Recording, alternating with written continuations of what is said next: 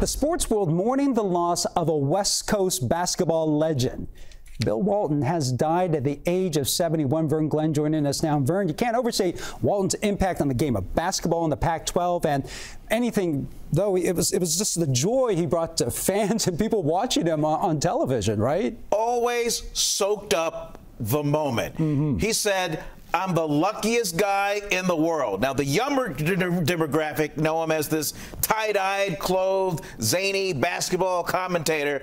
But Walton, true, he was one of a kind, but I have never met a more kind hearted basketball icon. Walton passed away at the age of 71 after a battle with cancer. He's regarded as one of the greatest players in college basketball history, winning two national titles at UCLA, battled injuries throughout his NBA career, but still won two championships and an MVP. He was inducted to the Basketball Hall of Fame in 1993.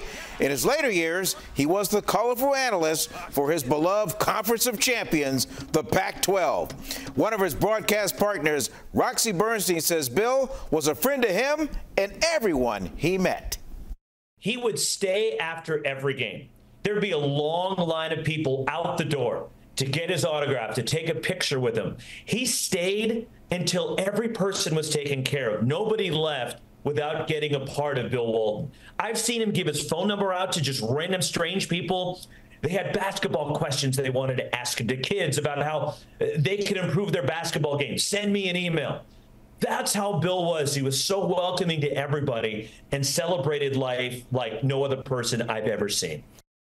Roxy's right. Legendary player in high school, college at UCLA, three time player of the year, NBA champion. And for the younger demographic and the NBA fan, he was Nikola Jokic mm. before Jokic. And he missed over 750 games because of injuries to his feet and his ankles. And he would often say, or would text, Thank you for my life. Shine on.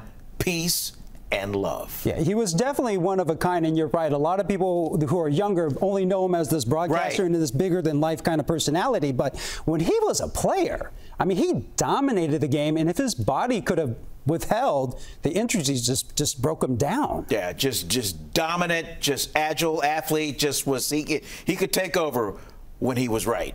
All right, thanks, Vern.